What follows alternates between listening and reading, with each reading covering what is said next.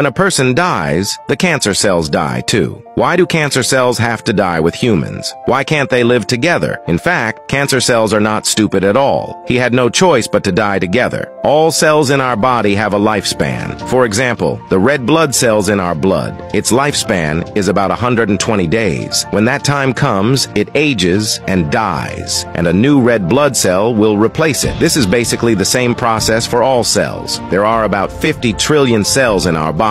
Suddenly, one day, a few cells, when they They've aged and are about to die. Suddenly, they are very, very attached to this world. He doesn't want to die. So much so that it stimulates its own cellular mutation ability. It really became an immortal cell.